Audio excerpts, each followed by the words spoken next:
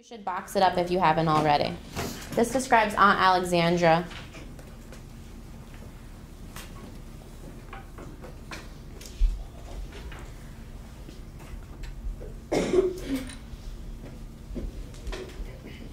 Thoughts? Mel. I agree with Dayani that, that, uh, Aunt Alexandra is like preoccupied with heredity because she's like, cause her, like her fam, the family's past like, uh, what's his name, uh, Simon, well, the dad, the, like, he was like, he had, he was really rich, so back then she's like. He owned a what? He owned a farm. Not just Not any kind of farm. uh, Was Finch's Landing, Which was a uh, I forgot. Monique? It was a birch Nope. Diana.